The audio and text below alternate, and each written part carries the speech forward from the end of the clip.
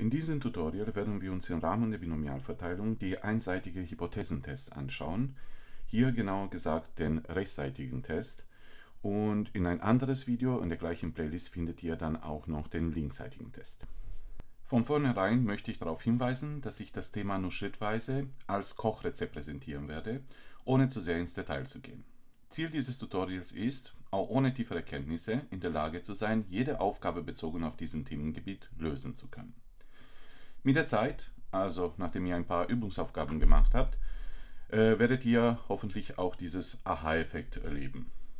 Ich habe zu dieses Thema drei verschiedene Videos verfasst. Einer für den linksseitigen, einer für den rechtsseitigen und ein extra Video mit verschiedenen Beispielaufgaben, um einfach nur ein bisschen Übung bzw. Routine in die Sache zu bringen. Lange Rede, kurzer Sinn, deshalb legen wir jetzt los. Die erste Frage, die sich wahrscheinlich stellt, ist, was können wir denn alles testen und auf welche Weise? Zum Beispiel, gehen wir davon aus, vor vier Jahren hatte Partei X bei den Wahlen 30% der Wähleranteile. In Bezug auf diese ursprüngliche Aussage können wir zwei Gegenbehauptungen formulieren. Wir können sagen, bei den diesjährigen Wahlen wird Partei X weniger als 30% haben oder mehr als 30%. Ein anderes Beispiel der Anteil der roten Gummibärchen in einer Tüte. Ein Hersteller gibt beispielsweise an, dass 20% der Gummibärchen in der Tüte rot sind. Dagegen können wir wieder zwei Aussagen formulieren. Wir können behaupten, nein, es sind weniger als 20% oder es sind mehr als 20%. Man kann auch überprüfen, ob ein Würfel gezinkt ist oder nicht. Das bedeutet, ob eine Augenzahl seltener oder häufiger auftritt als normal angegeben. Also normal bedeutet ein Sechstel wäre die Wahrscheinlichkeit für jede Augenzahl.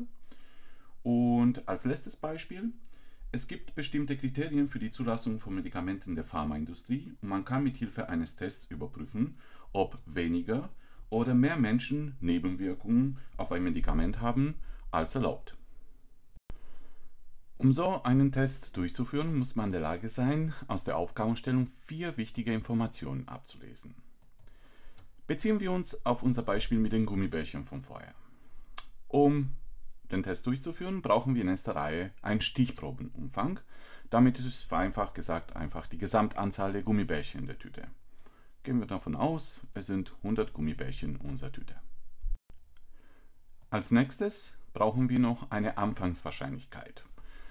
Diese bezieht sich auf die ursprüngliche Aussage, die des Herstellers, dass genau 20% der Gummibärchen rot sind. Also unser sogenannter P0 liegt dann bei 20% bzw. 0,2. Eine weitere wichtige Information ist das Signifikanzniveau oder die maximale Irrtumswahrscheinlichkeit.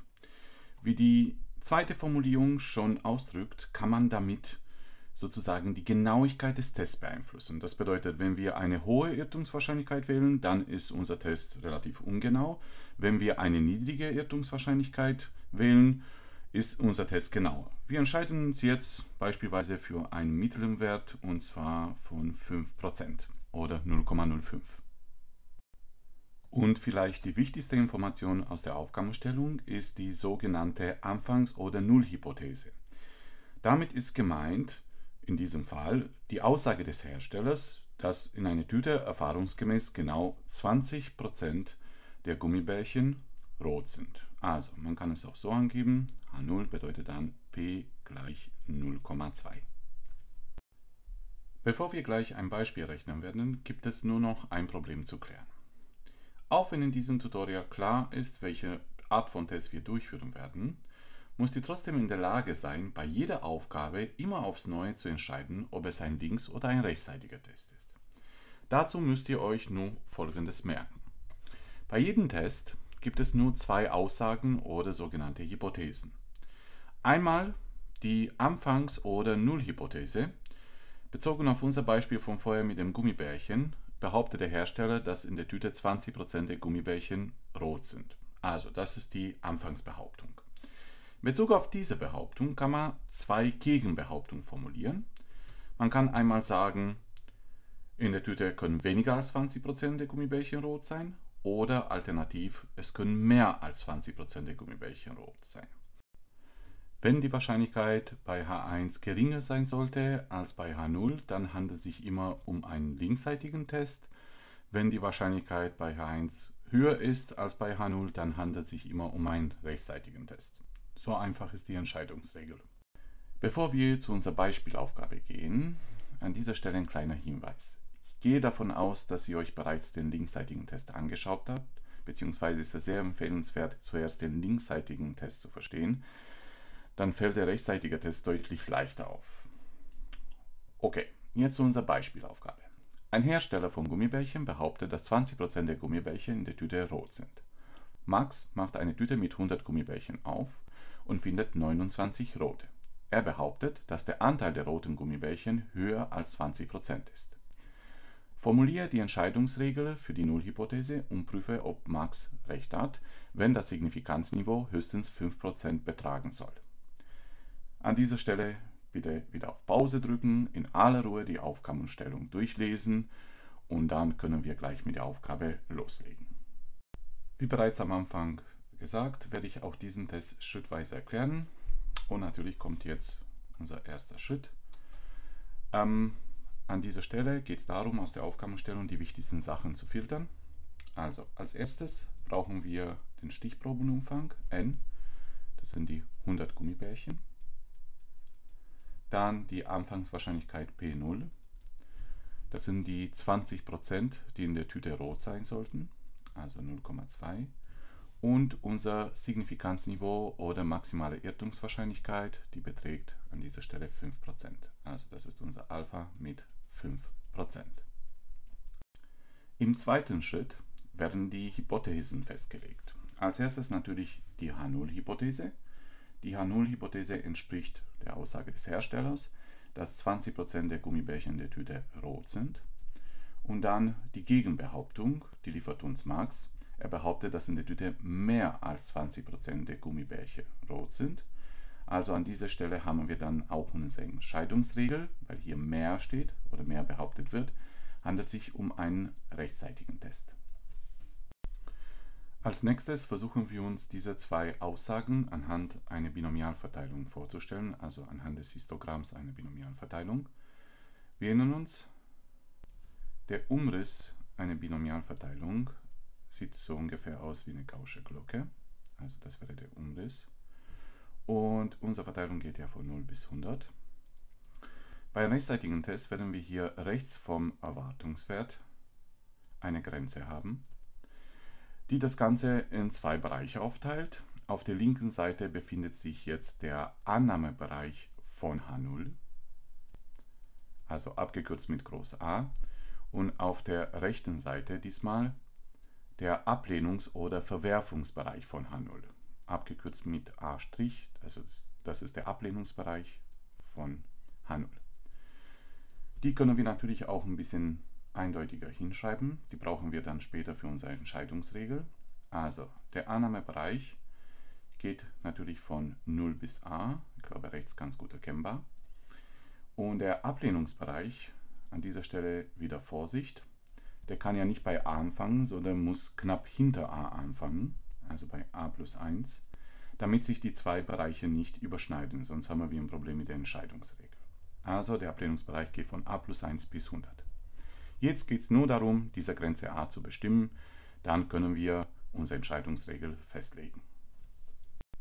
In unserem dritten Schritt brauchen wir einen Ansatz zur Berechnung von a. An dieser Stelle ein kleiner Hinweis, es gibt mehrere Möglichkeiten, wie man an dieser Stelle zum Ziel kommen kann. Ich werde jetzt meiner Meinung nach die einfachste wählen. Ich schreibe erstmal einen Ansatz, dann erkläre ich kurz was dazu. Also, der Ansatz ist nahezu identisch mit dem beim linksseitigen Test. Das bedeutet p von x kleiner gleich a soll größer sein. Und beim linksseitigen Test, wenn ihr euch erinnert, kam jetzt an dieser Stelle Alpha rein, also die 5% Signifikanzniveau.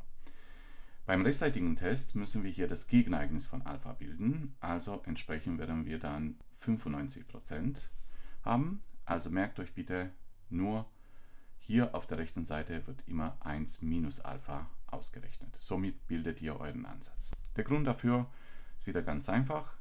Der Ablehnungsbereich entspricht dieser 5%. Und was wir hier haben, ist die Wahrscheinlichkeit für den Annahmebereich, also die liegt dann bei 95%, grob gesehen. Jetzt geht es wieder nur darum, ein bisschen mit dem Taschenrechner rumzuprobieren, wo diese Grenze sein könnte. Nur dieses Rumprobieren machen wir nicht so nach Lust und Laune, sondern wir orientieren uns erneut hier an unser Erwartungswert. Also das ist μ, unser Erwartungswert. In diesem Fall, was euch bekannt sein sollte, μ ist gleich n mal p für eine Binomialverteilung. Also wir haben 100 mal 20%, 0,2, dann sind wir bei 20. Wie bereits am Bild erkennen können, die Grenze liegt rechts vom Erwartungswert. Das bedeutet, wir werden jetzt im Taschenrechner Werte oder Trefferzahlen, die rechts vom Erwartungswert liegen, eintippen. Also man muss ja nicht so weit gehen vom Erwartungswert entfernt. Ähm, man könnte zum Beispiel in den jeweiligen Taschenrechnern dann ab 23, 24 bis 30 alle Werte eintippen. Das habe ich jetzt auch gemacht und ich bilde noch kurz die Tabelle an dieser Stelle. Also wir suchen a, der Ansatz lautet dann p von x kleiner gleich a größer 95%, also 0,95. Und ich wurde fundig bei 26, da hatte ich eine Wahrscheinlichkeit von 0,9441. Das liegt noch unter 95%, aber genau darum geht es, zu zeigen, wann dieser Sprung erfolgt. Und bei 27 waren es 0,9658. Also das ist unsere erste Trefferzahl, die über 95% liegt. Das bedeutet, das ist unser Wert für a. In unserem letzten Schritt können wir dann die Grenze a nehmen und die Bereiche aufstellen, mit denen wir unsere Entscheidungsregel treffen. Das bedeutet, ich nehme a und setze es hier oben ein. Also für H0 geben sich dann ein Annahmebereich, was von 0 bis 27 läuft und ein Ablehnungs- oder Verwerfungsbereich, was von 28 bis 100 bleibt. Kurz gesagt, man könnte die Entscheidungsregel wie folgt formulieren. Wenn 0 bis 27 Gummibärchen in der Tüte rot sind, dann stimmt die Aussage des Herstellers, also H0 wird bestätigt. Wenn mindestens 28 Gummibärchen rot sind, dann stimmt sie nicht. Bezogen auf Max ähm, Aussage von oben, er findet 29 rote Gummibärchen und behauptet, dass die Aussage des Herstellers nicht stimmt. Wir schauen, die 29 gehört natürlich in Ablehnungsbereich, also hier drin. Also tatsächlich wird dann H0 verworfen. Zum Schluss noch ein paar Hinweise. Der Fehler erster und zweiter Art werden ausführlich in ein anderes Tutorial besprochen. Wenn ihr das noch nicht gemacht habt, dann ist es auf jeden Fall empfehlenswert, noch den linksseitigen Test anzuschauen. Ihr findet den in der gleichen Playlist. Und auch dort habe ich noch ein drittes Video zu dem Thema zusammengefasst mit ein paar Beispielaufgaben, einfach zum besseren Verständnis.